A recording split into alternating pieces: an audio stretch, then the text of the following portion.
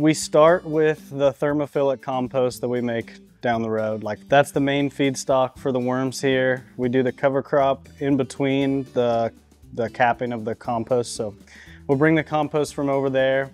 We'll have a cover crop growing in here. We let it get, you know, a foot or a foot or so tall. About the time it starts to lay over on its own, we'll bring in the thermophilic compost. I try to limit it to like, uh, you know, maybe a four to six inch layer. I try not to layer too much at a time. Um, we also add a lot of different biostimulants in here. So we'll use like some kelp.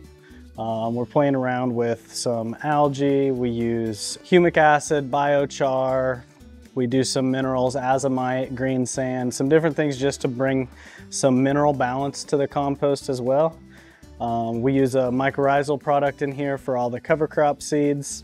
So the cover crop gets done growing, we cap it with that layer, and it's kind of that continuous system over and over again. We'll cut from these beds uh, probably once a month or once every three weeks, just, just shy of a month. We'll harvest several thousand pounds out of this room uh, at, each, at each cut.